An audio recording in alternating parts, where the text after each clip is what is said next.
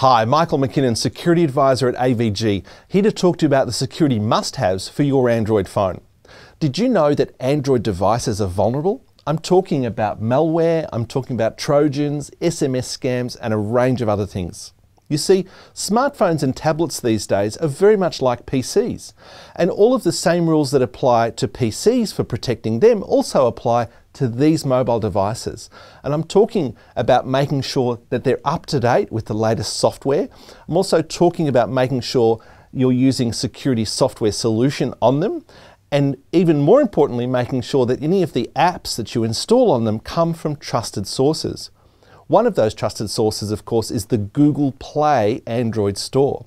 Google, in fact, run a technology called Bouncer, which is designed to filter malicious applications out of that store. Unfortunately, some of them do slip through from time to time. So here are some tips to protect yourself.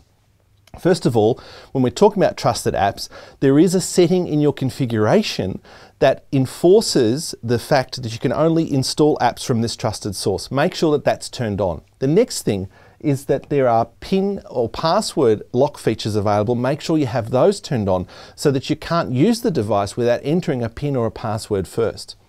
The next thing is that many of the popular Android security software solutions like AVG Antivirus Free for Android phones, for example, include features that have GPS tracking and remote wipe functionality. This is really important so that if you lose your phone or your tablet, you can at least get it back by tracking it down or, in the worst case, remotely wipe all of the data that's contained on it.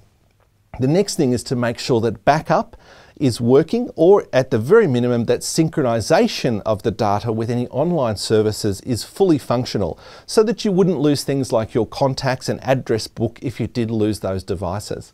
The next thing is to make sure you update your device. Make sure you update it to the latest version of Android if it's available and also any of the apps that you have installed, make sure you're regularly updating those as well. I'll leave you with these three final tips is to update, protect and backup. For more information, please visit our website avg.com.au forward slash mobilation. Thank you.